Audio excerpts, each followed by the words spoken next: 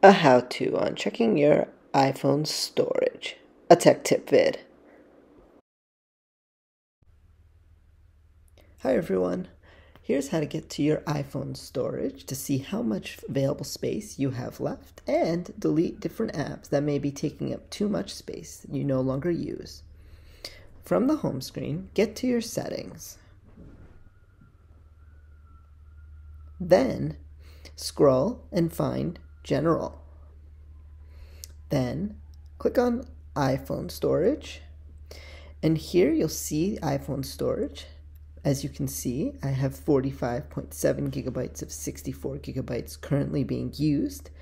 And down here, we'll be able to see the different apps as well as the amount of data that they're using in your iPhone storage.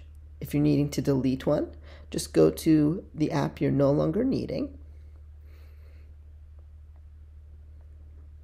and click Delete App. And there you go. That's how you delete and free up space on your iPhone. Thanks for watching.